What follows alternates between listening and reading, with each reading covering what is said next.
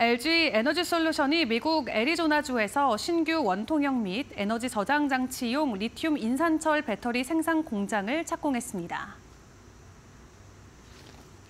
투자금 총 7조 2천억 원이 투입되는 이 공장은 향후 전 세계 시장 중 가장 가파른 성장세가 예상되는 북미 지역에 건설되는 두 번째 단독 공장이자 또한 원통형 ESS의 첫 번째 전용 생산 공장입니다.